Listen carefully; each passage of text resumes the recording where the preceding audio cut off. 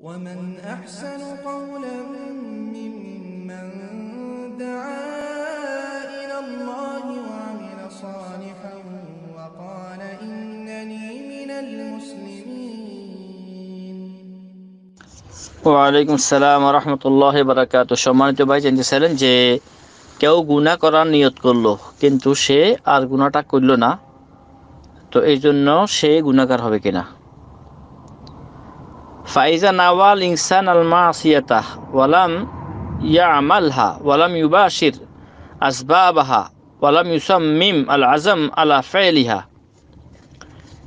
যে ব্যক্তি কোনো গুনাহ করার প্রতিজ্ঞা করল, কিন্তু সে করে নাই এবং এই গুনার কাজের যে সমস্ত পন্থাগুলো আছে, যে এই গুনার কাজ করতে গেলে যে সমস্ত কর্মগুলো তার আরও করতে হয়, এগুলো সেটা একটাও করে নাই সে। কারণ একটা গুনাহ যখন নাকি করে, তার কতগুলো আসবাব বা তার কিছু সরঞ্জাম লাগে।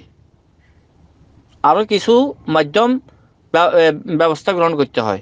এগুলো সে কিছুতেই অগ্রসর হয় নাই। শুধু নিয়ত করছি এতটুকু। ওয়ালাম ইউসাম্মিম আল আজম আলা ফেলিহা একেবারে করি ফেলব সুনিশ্চিত, এরকমও কোনো ধারণা করা নাই।